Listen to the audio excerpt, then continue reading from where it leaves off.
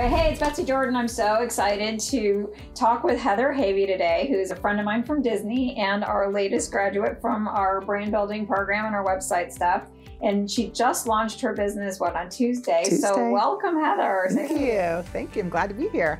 I was literally told by one of your clients, go with Betsy. You won't regret it. She will take a year and a half off of your timeline to reaching success. And I was like, I said, that's it. I, I trust myself and I know myself. I trust Betsy and I know Betsy. And I had a lot of people telling me, can't you do this on your own? Like, how hard is it to find somebody who can can build a website? How hard is it to find somebody who can can design a logo? That's the easy part. Mm-hmm. it's the really like deep introspection. That's the hard part. And that's what I, you know, when people ask about my experience with you, I'm like, it's the words.